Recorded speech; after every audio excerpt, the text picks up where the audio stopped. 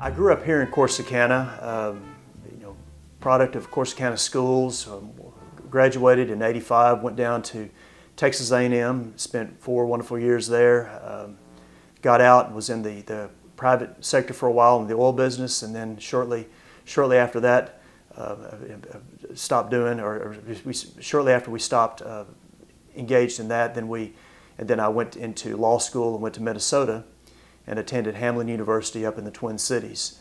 1993, I, graduated, was licensed in November of 93, and then went straight to the prosecutor ranks.